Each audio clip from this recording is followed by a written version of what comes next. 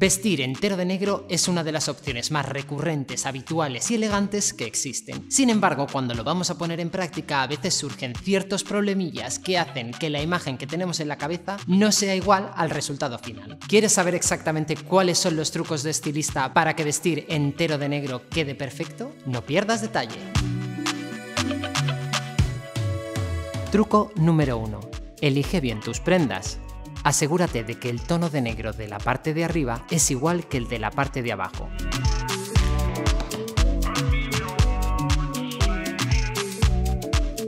Y si no lo es porque algunos tejidos reaccionan de diferente forma al tinte, al menos que se parezcan muchísimo. Con esto ya tendremos mucho ganado. El truco número 2 es jugar con las diferentes texturas. Estas tres prendas que ves en imagen están las tres confeccionadas en algodón, pero tratadas de manera diferente, por eso se crean diferentes texturas. Además, puedes mezclar otros materiales como la lana o el cuero. Con ello conseguiremos distinguir las diferentes prendas y, aunque sea un look monocolor, que no quede un solo bloque.